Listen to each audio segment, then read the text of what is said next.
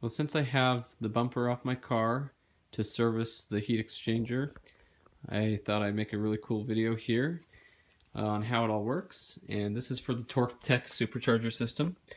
But I went ahead and drew this diagram. And so here you have the heat exchanger, which is that radiator looking piece in the front.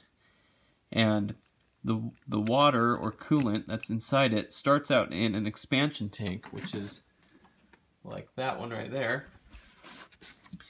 And it goes from the tank, gravity fed to a pump, and then the pump takes it through this heat exchanger, which is what the uh, the air goes through as you're driving down the road to cool.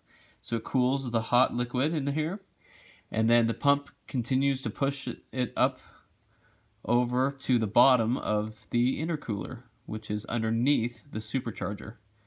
And so the water circulates in here, and then it comes out the other side, and it goes, it, it still goes with pressure from the pump back to this tank where it circulates and it's recycled here and then it's gravity fed and goes through the whole cycle again.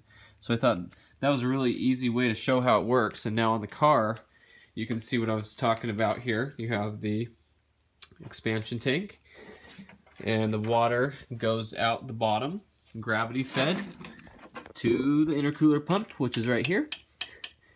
So it comes down that line. This is the line that that uh, was at the expansion tank into the pump. And this whole unit's the pump, and it swirls it around, and it takes it down over to the heat exchanger. There's the heat exchanger. And on the other side, there's another hose that comes out the top. And that hose comes up over to the bottom of the intercooler.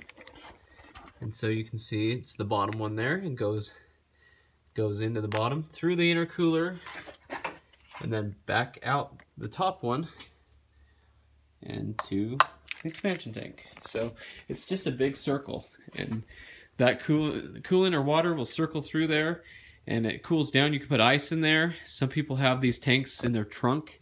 So if they have a bigger box in the trunk so it can uh, cool better.